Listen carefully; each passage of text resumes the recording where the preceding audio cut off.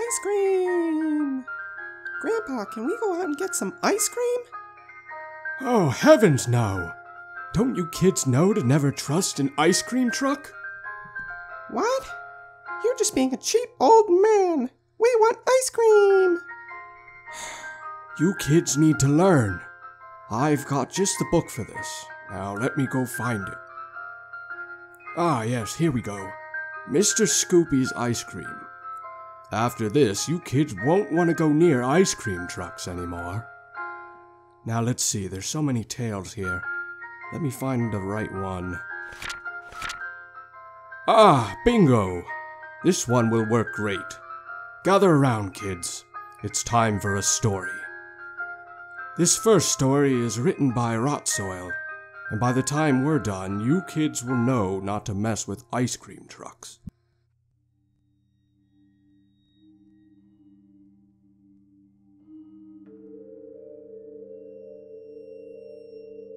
I never trusted ice cream trucks. Never liked them either, mostly because an ice cream truck playing music meant there was a horde of screeching kids close by. I used to loathe when the ice cream truck went by. The tinny sound of Greensleeves filling the air. The sounds of kids giggling and running down the street after it. Then the song would be stuck in my head for hours after that. I loved when it finally got too cold for the ice cream man to come around. I never understood the appeal of it. Buying overpriced ice cream from a stranger in a truck. Maybe parents just went along with it to shut their kids up. I don't know. So you can imagine how I felt when I noticed an ice cream truck sitting at the end of my street. I was immediately filled with annoyance and confusion. I thought it was still too cold for ice cream. Didn't they start coming around closer to summer? I ground my teeth and braced myself, waiting for the music to start playing. It was like nails on a chalkboard for me. But it never came. I went to the front window and peeked through the blinds. It was just sitting there, parked. As far as I could tell, the truck wasn't running. I felt like one of those stereotypical old people, peeping out the window, glaring at the kids playing outside. But none of the kids were playing outside. I wasn't old and there was no one to glare at. It was a weird truck. The side read, Mr. Scoopy's Ice Cream in big red letters. I'd never heard of Mr. Scoopy's before, but maybe it was a new company. There was the disturbing mascot under the letters, too. It looked like a larger ice cream cone, eating a smaller, terrified one. Was this supposed to entice kids to spend their money here? I thought it was creepy. I watched as the kid who lived across the street, Noah, came out of the garage and sheepishly walked down the street towards the truck. I could see his dad laying on his back under a car. Isaac had recently started restoring classic cars. He was in the process of fixing up a red Camaro this time. Probably gave the kid some money so he'd get some peace. I'd seen him and his wife fighting through their windows. Heard them arguing in the garage, too, late at night. Pretty sure the whole neighborhood had heard them. I didn't care what their problems were or what they did in their free time. I was a no nonsense, no drama kind of guy. This was a quiet neighborhood when I moved here. Now everyone was having kids, and those kids were screaming and playing all the time and giving me headaches. And now the damn ice cream man was early for the season. I frowned as I watched Noah come back up the street, head hung slightly. He retreated back in the garage. Not caring what the problem was, I humphed and went back to the couch to watch TV. I heard what the problem had been later that night, though. I had opened my windows to let the crisp breeze in as I got ready for bed. I liked having fresh air, and I liked the room cold when I slept. But the open windows clued me in on Isaac and his wife having a screaming match in their garage. She was yelling about him being a bad parent, a nearly absent father, and asked why he thought it was a great idea to let Noah have ice cream right before dinner. His reply was that it didn't matter. The truck had been empty anyway. Quite the comeback. But the truck was still in the same spot in the morning. Caught my eye when I went out for my morning paper. Maybe someone down the street got a job as an ice cream man, I thought and went about my day. A few hours later, I had just gotten settled on my couch and was ready to play the new Doom game when my dog, Bailey, interrupted. I'd rescued her when I first moved here. Thought it might be nice to have someone to share the house with. But here she was, interrupting my Saturday afternoon plans. She sat right in front of the TV with her leash in her mouth. She looked at me with those big puppy dog eyes that I just can't say no to. And that's how I found myself walking down the street towards the ice cream truck when that damn music started wailing. I stopped, immediately irritated, and turned back towards the house when the leash in my hand pulled back. Bailey was standing there, refusing to budge. She barked and looked at me expectantly. Alright, fine, I muttered. My voice was immediately drowned out by the music. I swear Bailey had an extra pep in her step as we continued our walk. I happened to glance through one of the windows of the truck as we walked by. The window in the back was open, but no one was in there as far as I could tell. No one was in the driver's seat either. We did one lap around the block, and when I found myself back at my front door, I realized the truck was still playing music, but hadn't moved from its spot at the curb. I was convinced the music was louder than it had been before. Swearing internally, I put Bailey inside and marched down to the house the truck was parked in front of. I banged on their door, the ice cream tune piercing my ears. A middle aged couple opened the door and immediately clasped their hands over their ears. I started shouting to be heard over the noise, but it was pointless. They opened their door wider and I stepped inside. As soon as the door shut, the music was muffled, but it could still clearly be heard. If I lived in this house, I would be livid, and my anger gave way to sympathy. Can't you do anything about that truck? I pleaded. They both looked at me sympathetically. We tried, the husband said. We thought it belonged to someone else here, but when it was still here this morning, we checked in with all the neighbors. It doesn't belong to anyone here, and no one knows where it came from. We called to have it towed and we called the police, but because it isn't an emergency, it's not a priority. We called hours ago and they still haven't sent someone. So this isn't your truck? I asked. They both shook their heads. We haven't seen anyone inside it, or we would have asked them to move it. I thanked them and apologized for bothering them. As soon as they opened the door, we were all assaulted with the tinny music. I made my way back to my house, looking like an idiot with my hands over my ears. Once I was safely inside, I started unclipping the leash from Bailey, who waited patiently for me to come home. I was interrupted by a knock at my door, and Bailey immediately started barking. I opened it to find Isaac and let him in so we could talk better. Did you find out what the deal is with that truck? he asked, looking uncomfortable. No, why? Do you know anything? Something ain't right about that truck. Noah went to get ice cream yesterday, but he said no one was there.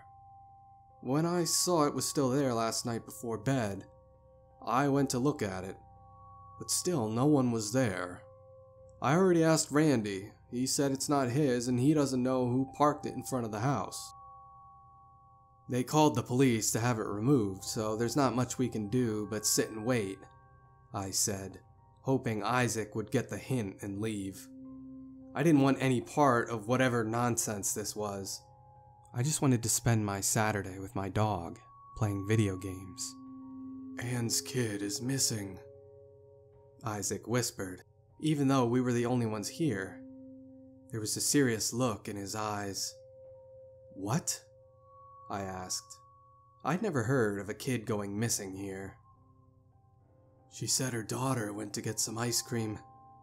Must have been someone this morning, but she never came back. They were combing the neighborhood when the music started playing.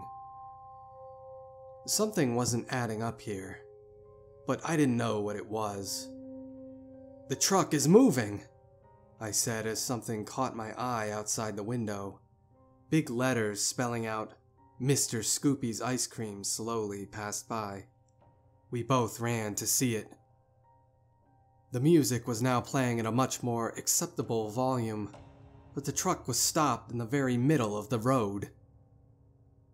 The window was open, and I could see someone inside it now. Anyone want anything? A funny looking man asked, leaning out the window.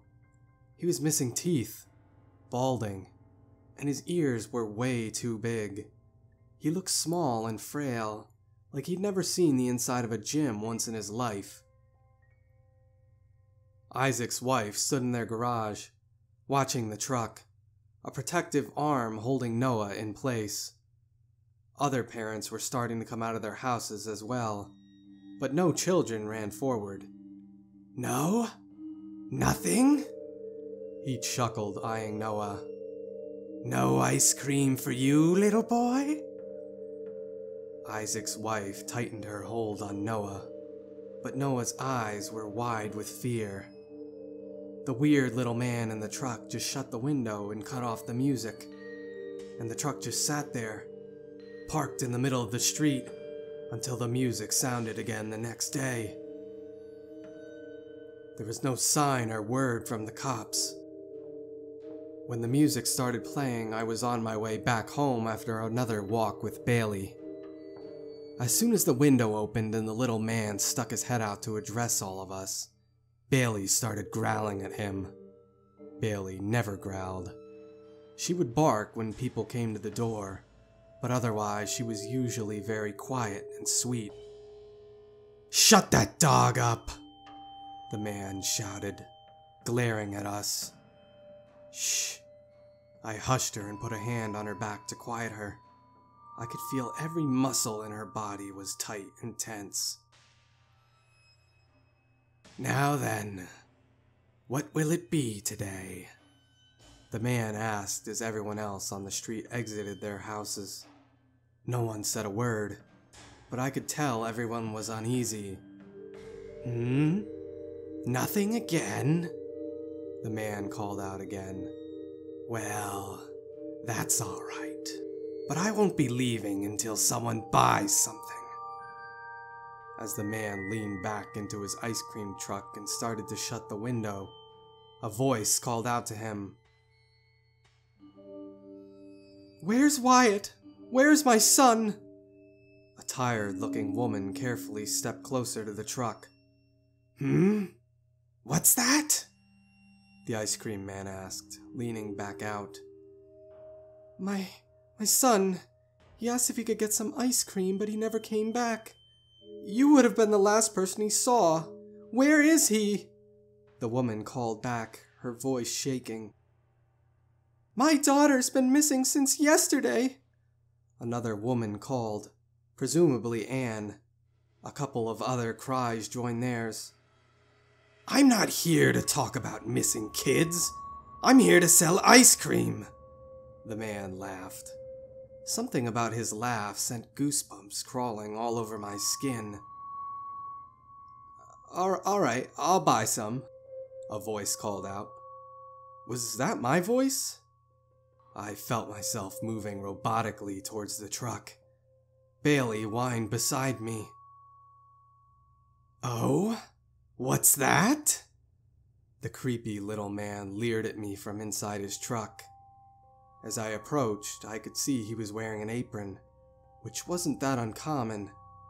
What was uncommon, though, was that the apron was one of the heavy rubber ones, not fabric, and the awful stench radiating from the truck, as well as the dark red pattern on his apron. I felt my blood turn to ice. I'll, I'll buy something. I gulped.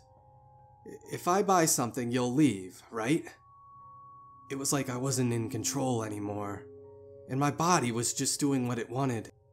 I never got in the middle of anything. I kept to myself, and that was how I liked it. So why did I feel the need to be a hero now? What will it be? The man asked, an eager look in his eyes. A vanilla cup, please. The giant ice cream cone painted on the side of the truck somehow looked even more menacing. I reached into my pocket for my wallet, and Bailey whined again next to me. She had a pleading look in her eye and pulled the leash back toward the house. Here you are, sir. One vanilla cup with a cherry on top. I looked up to see he was holding a cup out to me. I took it with a shaking hand. It was filled with vanilla ice cream. There was something red and pulpy on top. As soon as I realized what it was, I dropped the cup and vomited all over the street and my shoes. Bailey finally tugged free and bolted back to the front yard to wait for me. The man slid the window shut, cackling. In seconds, the truck was rolling down the street, playing that wretched music. My vision spun, focused on the spilled cup of ice cream in the street. A small, bloody eye lay in the middle of the mess, staring back at me. The police showed up shortly after that. They took information about the missing children and everyone on the street had similar reports about the ice cream truck and the man driving it. But no one remembered seeing a license plate. The police said they'd never heard of an ice cream company called Mr. Scoopy's Ice Cream. Now, when I hear the twinkling sound of Greensleeves being played as an ice cream truck drives by, it brings about entirely different feelings feelings of terror and dread.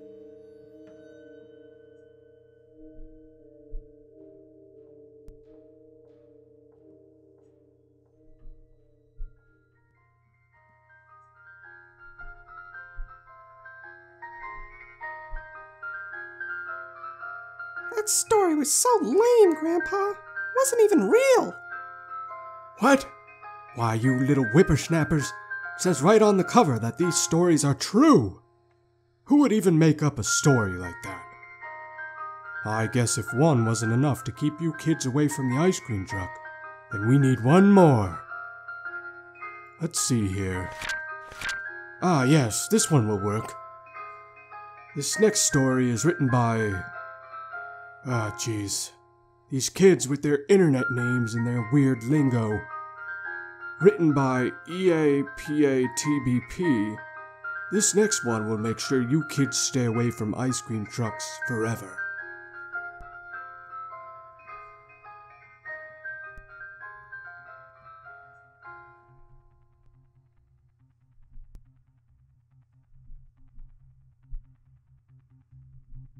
Get back inside, you idiots! Even with the windows and doors closed, I could still hear Mrs. Warshaw screaming from her kitchen window. The only other sound in the neighborhood was the sound of the ice cream truck that had been parked at the end of the street for the last hour or so. I had heard this chiming version of Greensleeves play on a loop at least a few dozen times now, although it had only taken about three minutes before it got unbearably annoying. I normally would never be on the same page as Mrs. Warshaw, but I couldn't help but agree with her anger this time. I got up from the couch and walked over to the window, pulling back the curtains to look outside. Mrs. Warshaw was leaning out her kitchen window, looking down the road. I pressed my forehead against the glass to get a better view, but all I could see was a small crowd of people. What's going on? I looked over as my fiance Marco walked into the room behind me. There's an ice cream truck out there, I said. He leaned over me to take a look out the window. Are people crowding around it? He asked. Looks like it. I don't think that's a good idea right now, he said, backing away and taking a seat on the couch as he turned the television on. I kept looking out the window as Greensleeves continued to play. You're all going to die, Mrs. Warshaw shouted. She glanced over towards our house and stared at me for a second, before looking back towards the growing crowd of people at the end of the street. Finally, I backed up from the window. If people were going to be stupid, that was on them. I joined Marco on the couch as he scrolled through some movies on Netflix, not really paying any attention. He began to hum softly, and I sat there, listening until I noticed he was humming Greensleeves. Really? Sorry, it's catchy. It's been playing for a while now. I guess it's stuck in my head, he replied. The music was distracting and unnecessarily loud. It almost sounded like it was getting louder each time it looped. I could hear the lyrics to the song in my head each time it played, over and over again. I hated this song. Hello, Earth to Chris. Marco waved his hand in front of my face. What? Are you okay? You blanked for a second there. I looked over at the TV. When did you put on a movie? I asked. Like 15 minutes ago. I shook my head. Sorry, the music is so distracting. Why is the ice cream truck still out there? I got up and opened the front door, stepping out into the porch and then walking out to the front lawn. I heard Marco's footsteps as he followed me out. I stopped at the edge of our lawn and looked towards the ice cream truck that was surrounded by the neighborhood kids and their parents. The truck itself looked old, and the white paint was chipping and dirty. It read, Mr. Scoopy's Ice Cream, in big red letters on the side, and included a giant vanilla ice cream cone as a mascot. It had big eyes and a wide open mouth, and it was eating a smaller vanilla ice cream cone that had a frightened look on its face. That's a bit morbid, Marco mumbled. I stared at the cartoon for a few seconds. He was right. It was a bit unsettling for an ice cream truck. How long does it take to get some damn ice cream? It seemed like everyone was trying to shove their way to the front of the crowd. And I noticed that some people already had ice cream, but they weren't going back inside. They were trying to get more of it. Oh, don't tell me you're going to get ice cream too! I looked over at Mrs. Warshaw, who had all but climbed out her window at this point. We're just looking, I said. She huffed, loud enough that I could hear. After a few minutes of standing out there, my head started to hurt from the awful twinkling music. I turned around to make my way back inside as Marco followed. Just as we were about to walk up the porch steps, a high pitched child's scream filled the neighborhood. We ran back towards the sidewalk to get a look at what was happening. A child had dropped their ice cream cone and it was now splattered on the road. The child continued to scream, not even stopping to take a breath as she reached for her blonde pigtails, first pulling the red ribbons off, and then gripping her hair in her hands and pulling as she continued to scream. Her face turned bright red as her mom walked over and tried to get her hands off her hair. It was no use, however, and the girl kept screaming until she pulled out two giant chunks of hair and dropped them on the floor on top of her ice cream. She stopped screaming, but only for a second before she started up again and charged at another girl, grabbing her ice cream cone and throwing it off to the side where it landed on the nearest lawn. The second girl started to cry and ran towards the ice cream, licking it off the grass. Off to the side, the girls' mothers had started fighting with one another.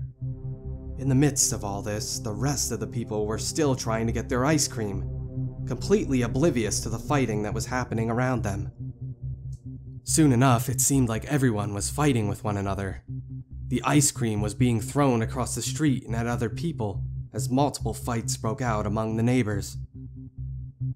Some people were kneeling on the floor, licking ice cream up from off the road, sidewalk, and the nearby lawns. We watched from our front lawn as people continued to fight. It was escalating by the second, and I watched as one kid bit another's arm, causing the second kid to scream. The first kid didn't let go, even as the second began punching him in the face over and over. I reached over and tapped Marco. Call the police! He ran back inside immediately, and I stood there, frozen as my neighbors continued to brutally attack one another. People were punching, kicking, and biting each other. It even looked like some were biting off chunks of other people's skin. I was sure that by now a few people had some broken bones. They're on their way! Holy shit!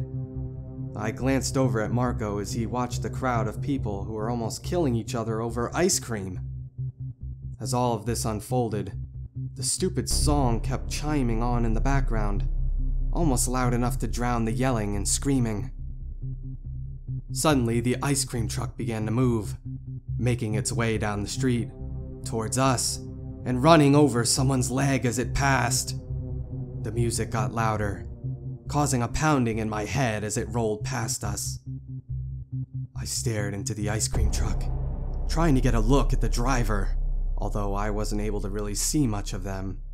They were wearing a red hoodie over a black baseball cap, hiding most of their face and all I could see was one thin, frail looking hand as it gripped the steering wheel. We watched the ice cream truck drive off down the street, the music slowly getting quieter and quieter, but never really fading completely.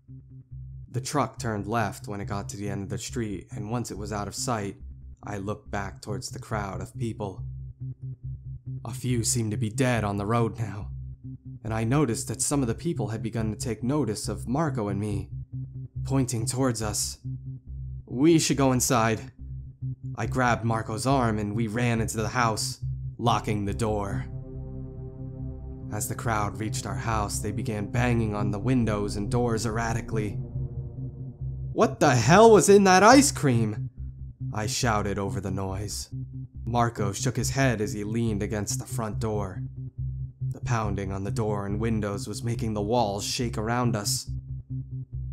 Suddenly, the sound of police sirens could be heard getting closer. I sighed in relief. The sirens got louder and closer, making me feel a bit safer, although not completely. For some reason, it wasn't loud enough to drown out Greensleeves as it played in the distance.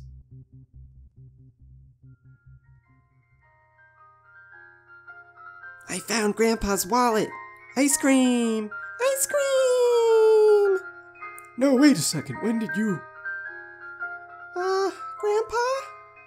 Why does that truck say Mr. Scoopy's ice cream? Well, that's just not possible. Let me have a look. Oh, Lord! Close the blinds, kids. Lock the door. Don't be shy in there. I know you want some ice cream.